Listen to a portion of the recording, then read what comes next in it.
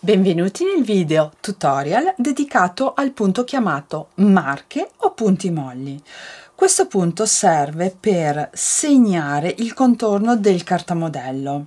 In questo caso vi farò vedere un fondo di un pantalone. L'ideale se si vogliono passare le marche è quello di avere il cartamodello senza i margini di cucitura e quindi ritagliarli e lasciare il margine direttamente sulla stoffa. Si può passare il gesso attorno al cartamodello oppure come in questo caso dell'orlo posso semplicemente piegare il mio cartamodello.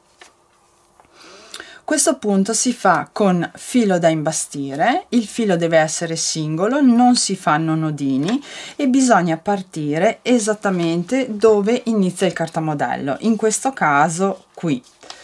Piego, si entra si esce con l'ago la distanza del punto ideale sono 7 mm quindi un po meno di un centimetro. Si lascia il filo lungo e si prosegue questo punto per tutto il nostro contorno.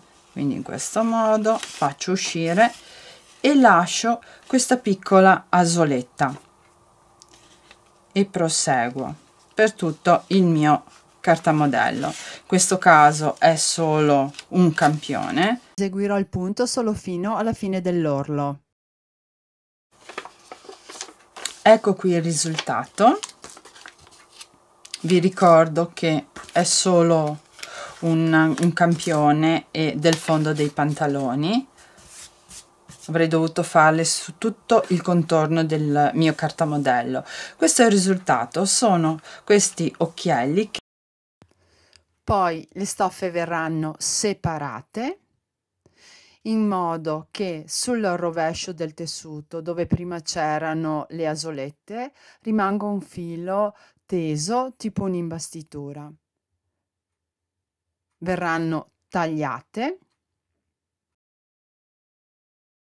Questa è una tecnica classica che serve per segnare il contorno del cartamodello così da facilitarne poi l'assemblaggio con i vari pezzi. Dove vedete i peletti tagliati è il dritto del tessuto, dove si vede il filo teso è il rovescio del tessuto. Spero di esservi stata utile ai prossimi video. Ciao ciao!